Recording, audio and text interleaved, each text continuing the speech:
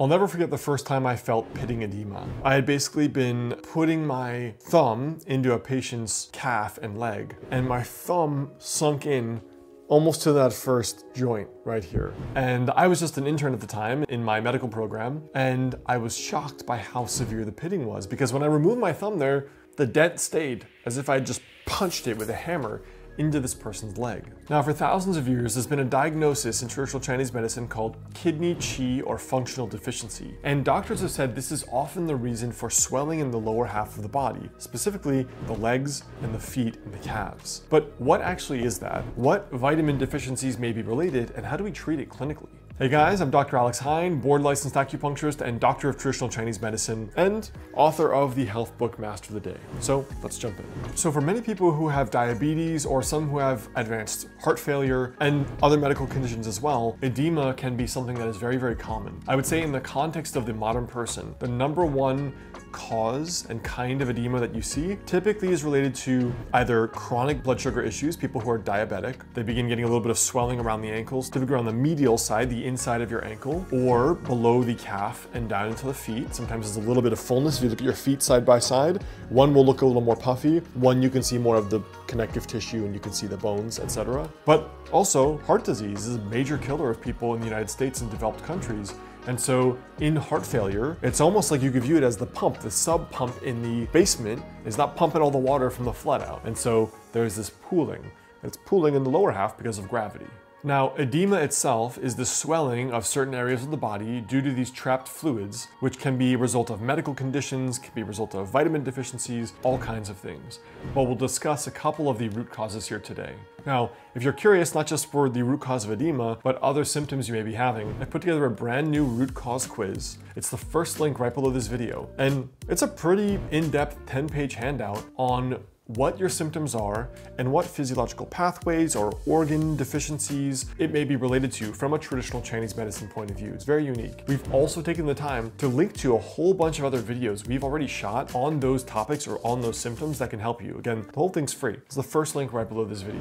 Now, what are some of the vitamin deficiencies that can be related to edema? A lot of what you might see are B vitamins. So for example, vitamin B1, thiamine. Thiamine deficiency from a medical point of view is known to cause beriberi, a condition that basically basically include symptoms like peripheral edema. Beriberi, not something commonly diagnosed in the modern world, definitely not in developed countries these days, but in terms of beriberi, or thiamine deficiency in general, it can contribute to cardiovascular issues, which can in turn cause edema due to just the general poor heart function. So that's like that pump deficiency, the sump-pump we talked about effect. Now another B vitamin is actually vitamin B6. So vitamin B6 deficiency has been linked to water retention and edema. An interesting study done in the Journal of Clinical Nutrition found that B6 supplementation can actually help reduce premenstrual edema in women. I found that pretty interesting in the research there. Now how does traditional Chinese medicine view edema. Most of the time, you will see edema in the patterns I talked about, heart disease, cardiovascular disease, diabetes. You'll see a diagnosis that your acupuncturist may give you called